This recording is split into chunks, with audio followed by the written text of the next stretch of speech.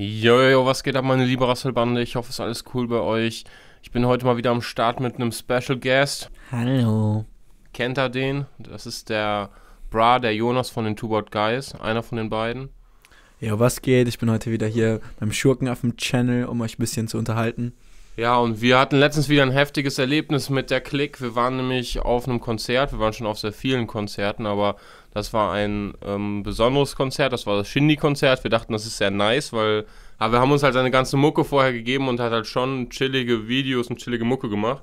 Ja, genau. Und das ist, äh, muss man sagen, ein bisschen länger her. Also der neueste Shit war, glaube ich, noch nicht raus, ne? Rolly und so. Nee, obwohl Rolly halt auch wieder ein dicker Track war. Aber wenn man ihn live gesehen hat, dann macht das irgendwie alles ein bisschen kaputt. Ja, genau, darum geht's heute. Wir haben uns dann live Shinny angeguckt und es war das übertriebenste Trauerspiel. Ja, es fing halt alles so an, dass wir da waren. Wir waren gehypt auf ihn. Wir dachten, er kommt nice rein, erzählt ein bisschen was, aber nein, er kommt einfach rein und fängt an los zu rappen.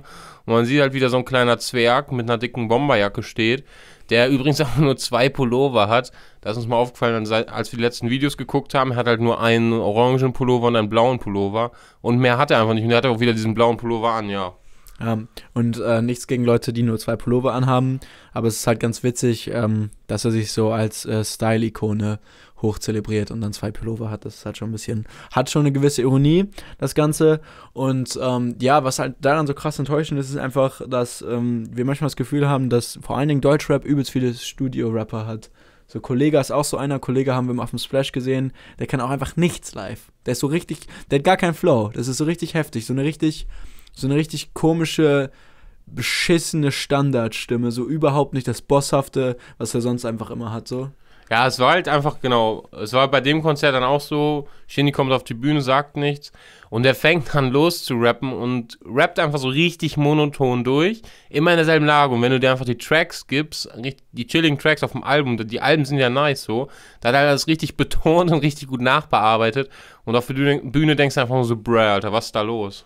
Ja, und man erwartet natürlich auch nicht viel von den, den kleinen Schläger-Boys. Ich meine, Kollege wir, hat ja letztens mal wieder sein wahres Ich gezeigt. Der Shindy hat ja auch mal davor mal zugeschlagen, also die sind ja beide ganz gut dabei. Ähm, vielleicht sind das auch einfach nur Rapper, die Leute schlagen, die können auch schlecht rappen.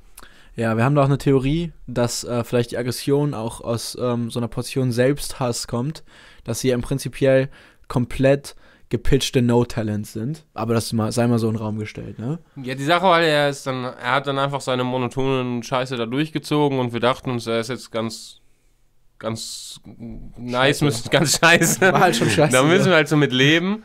Aber er hat halt auch zwischen den Tracks nichts erzählt. Er hat, immer, hat einfach von einem Track zum nächsten, als wenn er gar keinen Bock hatte, bis zum dritten, vierten Track, wo er einfach nur gesagt hat, yo, ich bin richtig scheiße drauf und hat keinen Bock. Es war halt richtig Abfuck so. Du, du bietest dem Publikum damit ja nichts, mit deiner arroganten Art, Shindy. Michael. Ja, Michael, also da waren wir schon ein bisschen enttäuscht, muss man mal ganz ehrlich sagen. Wir haben halt auch einfach ähm, schon richtig starke Konzerte von Deutschrappern ähm, mal gesehen. Sagt man dann gesehen? Haben wir Konzerte gesehen? Nee, wir waren auf sie wahrgenommen. Wir haben sie wahrgenommen. wir waren schon auf sehr nice Konzerten von Deutschrappern zum Beispiel, ähm, ob man das jetzt feiert oder nicht, aber zum Beispiel Lance Butters ist sehr stark live. Lance ist dick. Und ähm, Haftbefehl kann live auch richtig viel. Und wieder, wiederum natürlich Geschmackssache, ob man so Musik jetzt mag oder nicht. Aber zumindest performt er. Ja, er performt einfach geil. Also er, er liefert, er liefert einen, einen, geilen Auftritt, wo man danach rausgeht und sagt so, ja, ich habe was mitgenommen. Es war ein geiles Erlebnis, da träume ich heute Nacht von.